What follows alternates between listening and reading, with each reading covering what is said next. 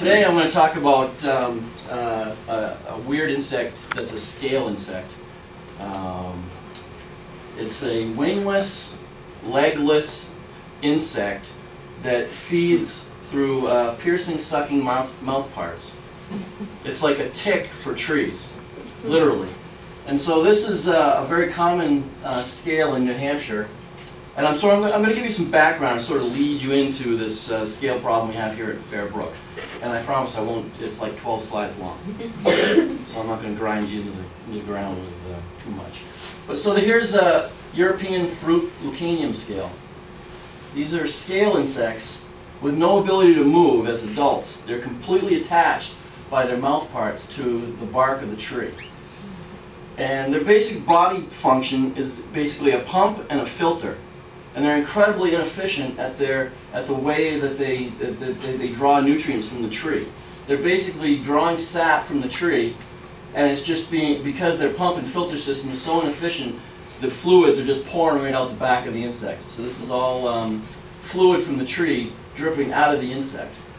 And so it drips all over the ground, gets all over stuff, and it turns sooty mold. And so you, you see that uh, moldy stuff on bark and mold on trees, and most of that is from uh, from scale insects. And ants really like that. So if you have an ant problem, usually you actually have a scale problem.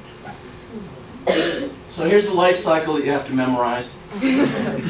It's actually fairly simple. The, the complexity is that it happens two or three times a year. Uh, and so that's what makes it complex. But it's fairly simple in that, that it starts with a female that, that, um, that lays eggs. And then those eggs hatch within that protective covering. And then those crawlers come out and then uh, settle down, and these are the mouth parts that's penetrating into the bark of the tree. And at that point, that's it. It can't move anymore. And it spends the rest of its life cycle uh, attached to the tree. So then it just sort of grows in size to the point where it's ready to mate. And interestingly, half of these crawlers turn into males that actually do have wings. They mate with this uh, female, and then the cycle starts all over again. So actually, there's kind of a weird little side spur to the uh, to the life cycle where the male flies around, mates with the female, and then dies, and then the female starts over again. So in New Hampshire, this happens twice a year, and then down south, it tries to do a third generation.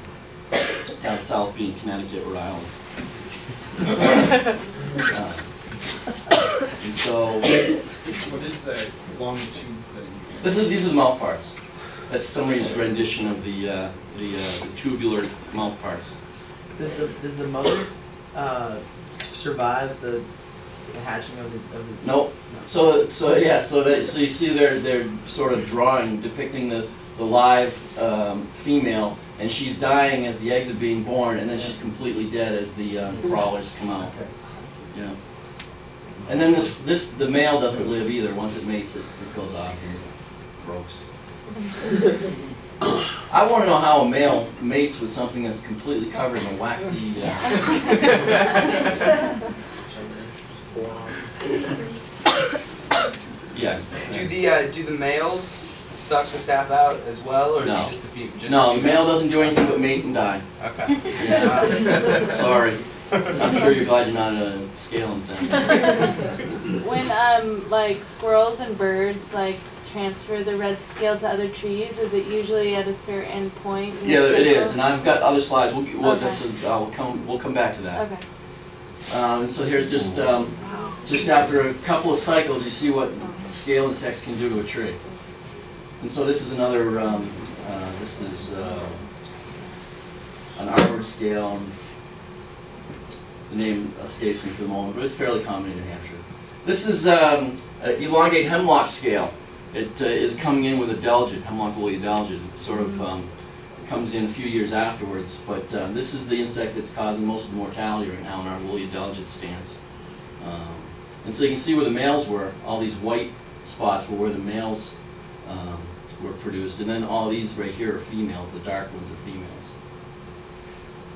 So they're similar pests? They are, they're all scale insects and they're similar in the way they feed, they're phloem feeders, they feed on the uh, phloem of the tree, they, um, they're legless, wingless, scale insects, weird um, ticks, Are they part of the, uh, adelgid family or something? Well, they're the- in the um, they're they are close to adelgids. They're Scales are Homoptera, Adelgid are Hemiptera.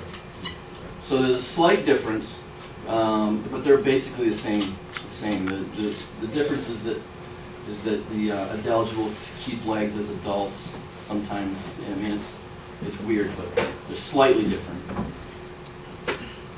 Here's a um, red pine scale. This is what we're here today for. Um, completely covered in a protective cover, starting to produce that white flocculence that protects them in the winter, because they feed in the winter. Here are those um, second and third instar uh, nymphs. They're settling down. Their mouth parts are now attached. They're starting to produce that white flocculence. These are all sort of the, those um, halfway between eggs and adults. And these guys now will turn into adults now that they're attached. That's magnified, right? Uh, yeah. This is taken under a microscope. These are, uh, you'll see in the field that you can't see these with your naked eye. You can see the flocculence, but you can't see the actual insect. They're tiny, tiny, tiny. Hundreds of thousands per tree. Here's an old female right here. Uh, and so this is what you're going to see. This is what this is what the infestation looks like in the field. Pretty obvious, right? It's awful. so here it is. Uh, see if I can get the uh, laser pointer. See all this white? That is all what we call flocculence poking out from underneath the bark scales. The males, especially the females also, will produce that white woolly stuff to uh, sort of protect themselves from predators and from the winter temperatures.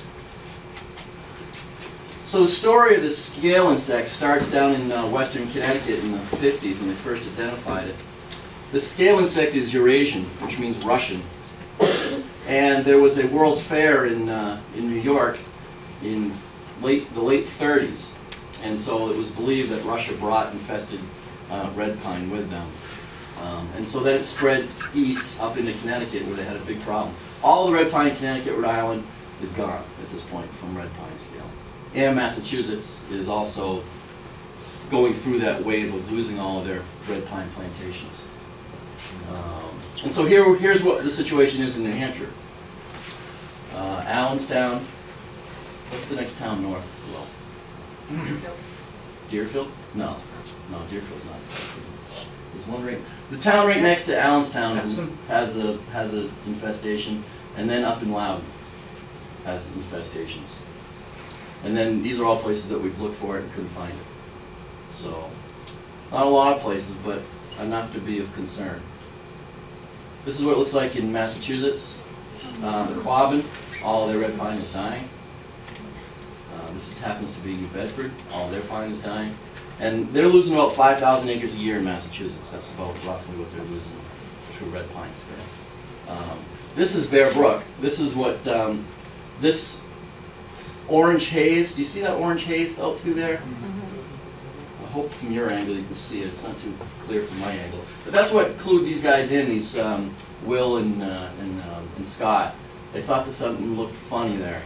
And, uh, and so that's dying, the lower half of the canopies were dying from red pine scale. And so it gives off that weird orange cast throughout the scale. And this also is a, a dead giveaway that the trees are on the way out. This is um, red turpentine beetle attacks. So once a red pine stand is attacked uh, by other things and it starts declining, red turpentine beetles start taking over. And usually this is what we get calls about, because it stands out and it's on the ground. These are called pitch tubes. The tree tries to pitch out the insects, and so it creates this glob of pitch where the, uh, where the bark beetle emerges. And so we'll probably see some today. And uh, so there's always a tube running down through the middle of this pitch where the adult insect chews its way out through the pitch. So that's why they call it a tube, pitch tube. Um, and so the inside looks like that. If you pick, pick the bark away, you can see all the galleries from the turpentine beetles. And so you see the blue stain starting? Bark beetles carry a stain with them to inhibit that pitching by the tree. And It's called blue stain. And so it starts spreading around the tree, you know, spreads wherever the insects are attacking. That's what the larvae looks like. You can see there's tons of larvae. And so this is the cross section. You can start to see, you can see blue stain starting in several different places. It's a real problem for foresters because it, it affects the value of the tree. Um, people cutting saw logs don't really like to see blue stain on there, the most valuable part of their tree.